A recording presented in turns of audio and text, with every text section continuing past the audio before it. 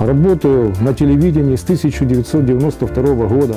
Непосредственно на радио работаю с 2014 года. С 2014 года я являюсь начальником цеха радиовещания.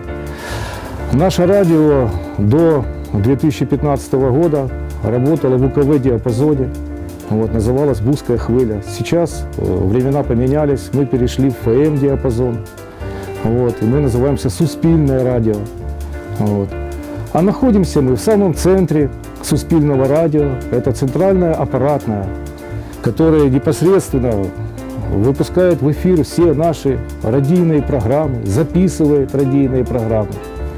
Вот. Ну, будем говорить так, это и есть центр, центр сердца нашего суспільного радиомолодя.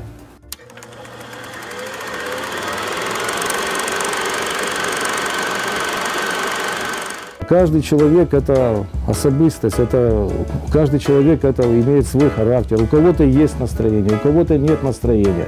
Но когда попадают стены вот, аппаратной, стены студии, все домашние проблемы куда-то уходят, и все плохое настроение куда-то девается. И люди отдаются полностью профессии, чему себя и посвятили свою жизнь.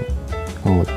Но я непосредственно вот я посвятил технической части радийного, я обслуживаю техническую часть.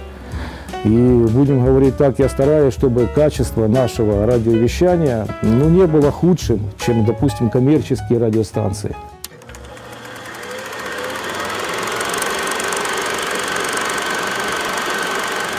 Но в нашем понимании курьезы – это технический брак, который не должен быть вообще-то. Вот.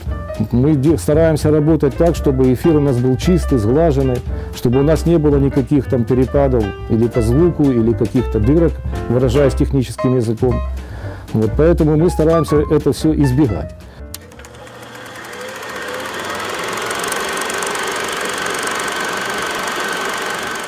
Ну, хотелось что пожелать? Ну, телевидение и радио, понятное дело, что в первую очередь работают здесь обыкновенные люди.